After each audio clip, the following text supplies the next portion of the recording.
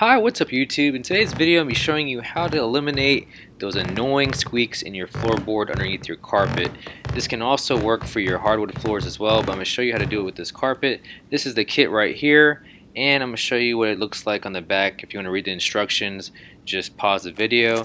And also, if you want to check out this awesome product, I left a link down in the description below, so check that out. Located on the back are the instructions for carpeted floors, and on the bottom here, as you can see, are the instructions for the hardwood floors. So here's what it looks like when you open up your kit. This is what you can expect. You get about 50 of these screws that break off at a certain point.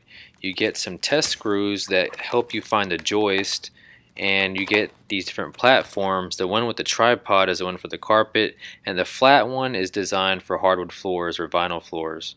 So let's get right into it. If you use the test screw and you start to screw down and it just wants to slide back and forth, then you have not hit a joist or a stud in the floor. And this is what it looks and sounds like when you successfully hit a nice joist in the floor. Now it's time to get out your platform and get out your screw with your drill bit and try to locate the exact same location of where you found that joist. Now you can screw down as far as you can until the platform won't allow you to screw any further and then you're going to have a little piece of the screw head sticking out. That's normal. Now you're going to use the platform. There's a leg that has a little groove in there, slot to grab the head to break it off.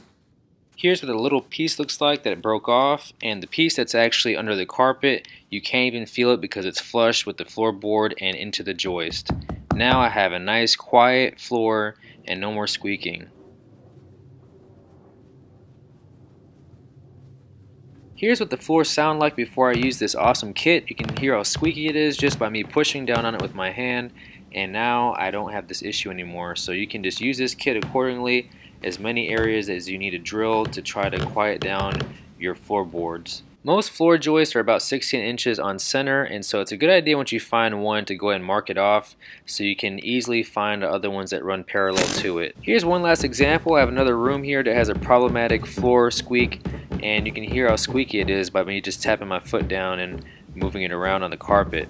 So I'm going to show you this kit, how quick it works. I'm going to just go ahead and use the little platform, get my screw. I already located the joist in the floor and I'm just going to go ahead and screw down and then break off the excess screw and I'm going to show you how quiet it is now once I put my foot back on the same spot. So check out how quiet this section of the carpet is now. Before it was squeaking like crazy and now it's nice and quiet no matter how many times and how I step on the floor.